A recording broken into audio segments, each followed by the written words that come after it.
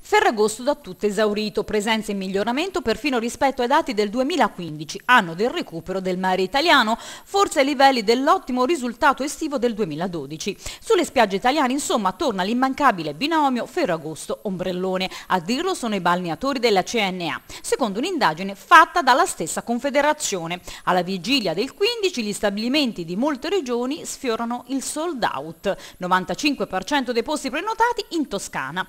Un quadro positivo per la nostra regione, nonostante un percorso iniziato male perché maggio e giugno sono stati freddi e hanno inciso negativamente sul turismo.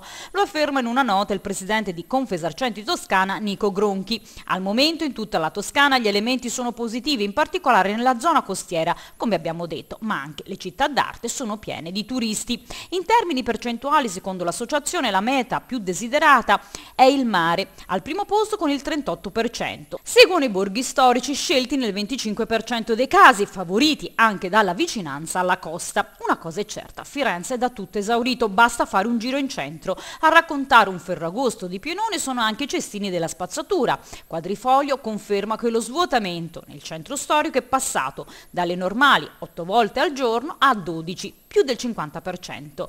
Per Alessandro Tortelli, direttore scientifico del Centro Studi Turistici, da due anni il turismo è in netta crescita a Firenze, anche in piena estate. La cartina tornasole, tutti gli alberghi aperti in un mese agosto in cui qualcuno chiudeva per ferie perché era ritenuta bassa stagione. Le presenze salgono dal 2014, conferma Francesco Becchi, presidente di Federe Alberghi Firenze. Arrivano anche da Cina, Corea, Arabia e India. Il turismo di massa inizia a muoversi anche verso le città d'arte in estate. Nel 2015 c'è stato l'effetto Expo. Ci chiedevamo come sarebbe andata dopo. I numeri tengono. Perché questa corsa a Firenze e per l'allerta terrorismo? Pare di sì. Molti esperti del settore sono certi che dagli europei Italia e Firenze sono percepite come mete sicure.